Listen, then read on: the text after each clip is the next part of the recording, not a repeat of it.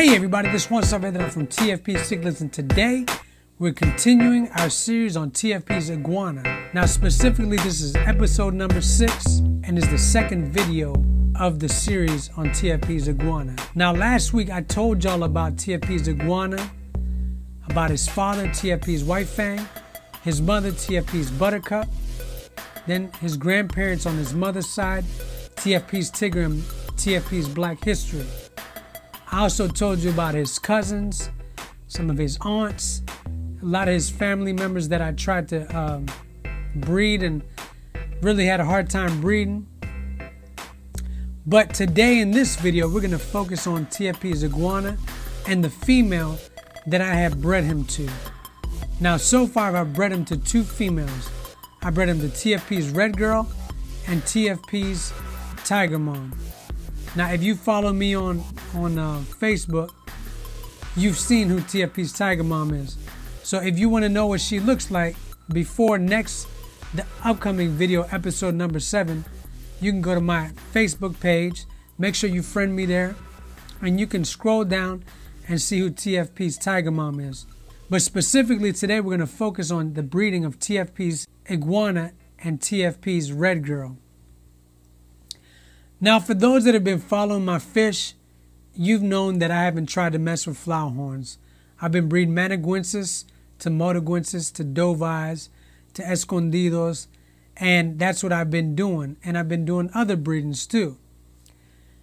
But I couldn't help myself. I couldn't help myself because I'm scrolling like all of y'all scroll on Facebook, and lo and behold, I see Mr. Wu Mr. What's the Hat in Thailand, posting all red female. Now I had to get that female. I mean, she was 100% red. Matter of fact, not 100%, sorry. She's about 98% red with the exception about the front of her mouth. And I said, I got to get this female because for a long time I've been writing different breeders in Thailand and telling them, hey, you know, I want an all red female. And it's been hard to find them. And matter of fact, over, I would say, 12 or 13 years ago, I had bought a almost 100% red female. She was blood red from her mouth to her tail. Now, she was so big that I wasn't able to breed her. And even back then, I was still kind of wet behind the ears when it came to breeding. So I really didn't do her justice, and I ended up losing that female. And ever since then, I said I want to get an all red female. So TFP's Red Girl, where did she come from? TFP's Red Girl came from Mr. What's the Hat in Thailand. And initially, I wasn't going to get her for myself. Initially, I had tagged my friend Jason Humphrey from the Jefferson and Humphrey brothers. And I tagged him so that he would get her because I know that he's into flower horns. And I've been trying to stay away from flower horns.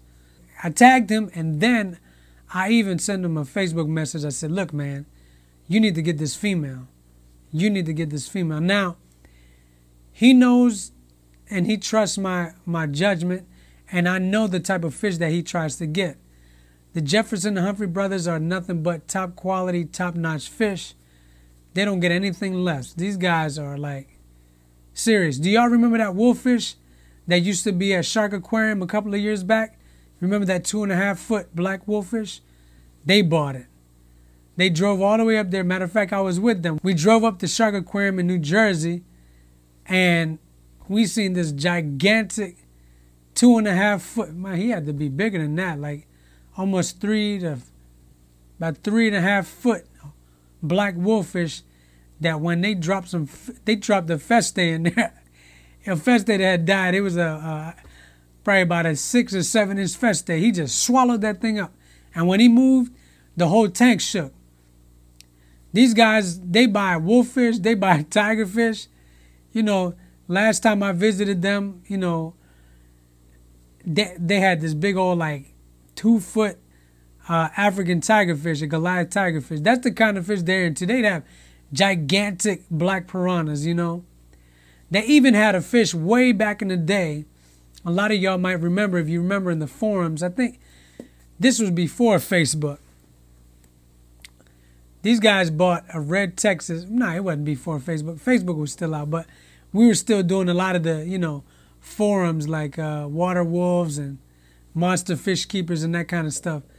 And these guys bought one of the most amazing looking red Texas that were out there.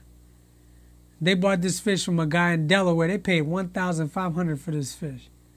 These guys, when they want fish, they get them. I mean, these guys, they they they get top quality fish. That's the point I'm trying to make is that they get top quality fish. Now here's uh, the the red Texas that I'm telling you about. His name is uh, number one stunner. Unfortunately, he wasn't able to breed, and and so they were never able to get any babies out of him. But nevertheless, the point I'm making is these guys get top quality fish.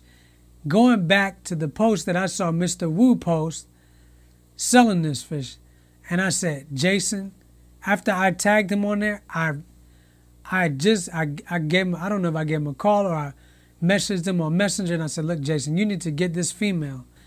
But he had bought this all red comfort and that thing looked amazing. And I said, that's what you need. You need an all red female for your all red male comfort to try to get some babies out of that. Now, at the point, you know, that time he was making moves and just bought a house and another house. And uh, he was like, you know, I guess he was not, he's trying to stay away from the fish because he buys a lot of, they buy a lot of fish. And so I said, look, get the fish, man. Well, he didn't get it. So you know what I did? I said, I immediately wrote Mr. Wu. I said, hey, how much is this fish? He told me how much it was. I sent him the money immediately because I didn't want nobody else to get that fish. I said, I got to get this female. Now, y'all might not know, but in the last video, I showed y'all a, a lot about TFP's iguana's grandmother on his mother's side, TFP's Black History. Specifically, I bred TFP's Black History to TFP's Jade, the Escondido. I bred TFP's Black History to TFP's Tigger, the Red Tiger motaguensis, the Rio Blanco Red Tiger motaguensis. But what I didn't tell you was that I also bred her to a Red Dragon Flowerhorn. Specifically, I got the Red Dragon from Lakefish Export from Thailand, and I bred him to TFP's Black History. Now, for the sake of this conversation, the uh, the Red Dragon Flowerhorn's name was TFP's Rooster, and I bred TFP's Rooster to TFP's Black History, and I produce 50% Red Dragon Flowerhorn, 50% Managuensis. One of the things that I did learn was that you got to be careful when you have a breeding program. See, you got to understand you had limited space. We got limited space, and what that means is that we can't just have everything that we want. You know, you have to calculate what you have. You know, if you have a lot of tanks and you have a lot of space, then yeah, you can get a lot of fish and make a lot of hybrids and make a lot of breedings. But if you know that you don't have a lot of tanks, you need to focus. You need to have your you need to have, be like those horses that wear those blinders that don't look to the side. They look straight. You have to be focused. And what that means is that when you have a breeding program, let's say you make a cross, right? And you have a goal, right? I was telling y'all a couple of videos back, right? Episode number four. I was telling y'all that you have to plan your breedings by using pedigrees. Now, let's say you wrote out your pedigree and your potential pedigree. You're you planning for the future, right? You got to make sure you stay on track with that and you keep that because what happens is when you breed your hybrids, the little babies take a while to grow. And a lot of times they don't really look like much. You know, they don't look all exciting they don't look beautiful and so it can be discouraging. And so what you do is you see a fish that somebody posts online or something that you see in this pet store or, or this thing over there and before you know it you wind up buying that other fish and kind of forget about those little fry that you're raising up and give more attention to the newer fish. So you got to focus when you're creating a bloodline. And so that's what i learned I learned it with TFP's Rooster and TFP's Black History because at the same time, I had already bred, bred TFP's Jade to TFP's Black History. Remember TFP's Jade, the Escondido, and TFP's Black History, the Managuensis? I had already done that breeding. I was raising out the offspring and I was selecting my individuals that I was potentially going to breed for the future. But, like I said, I got distracted with the flowerhorn managuensis. I also had TFP's Tigger, the red tiger motaguensis, and the TFP's Black History breeding. But as I said, I bred TFP's Black History to TFP's Rooster, and I got distracted. I got distracted. I got distracted because I started raising out the offspring and not focusing on the breeding that I originally wanted to do. My original intention was to take TFP's Jade and make him the pinnacle of that bloodline. Take TFP's Jade, breed him to all kind of different females, and then use those offspring to breed to each other to create new hybrids. But as I told y'all, when you breed escondidos or you breed carpintis, you get a lot of infertility. I mean, that's just one of those things. That's one of the things. That's what's kept uh, Red Texas, I guess, so famous or so uh, long lasting in the hobby because you don't find a lot of males that are fertile, you know. And so, because of that, th- there's a low supply, you know. A lot of people aren't producing them like that. So, therefore, you know, the price stays up and they stay desirable because people can't really master, or very few people have really mastered red Texas like that. You have people out there that have done it, definitely, but that's the that's the the uh, the scenario with breeding carpintis into your breedings.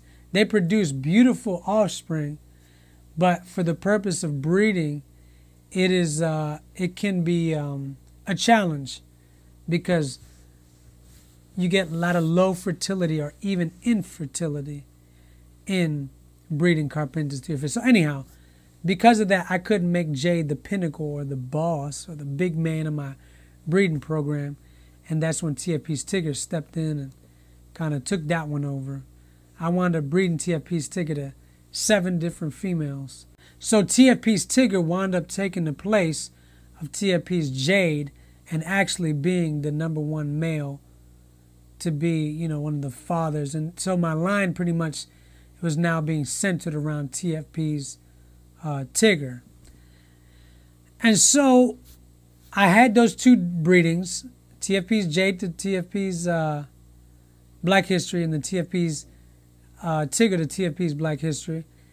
And I had those offspring growing out. But since I bred TFP's Black History to TFP's Rooster, the Red Dragon Flowerhorn, I got all excited. Oh, look at this new hybrid. I'm going to create this new type of uh, Flowerhorn. Oh, this is going to be great. And so what I wound up doing was forgetting about my other fish.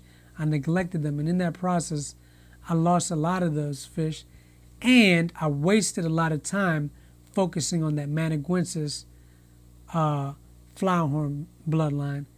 And I wound up losing a lot of fish then. Now you remember I showed you in the last video the best male off of the TFP's J, TFP's Black History breeding. Remember that TFP's Cowboy? Now I didn't include TFP's Cowboy into this picture right here because I was never able to breed him. All the fish that you see here, TFP's Bolt, TFP's Tiffany, and TFP's J Jr., I was able to breed all three of them.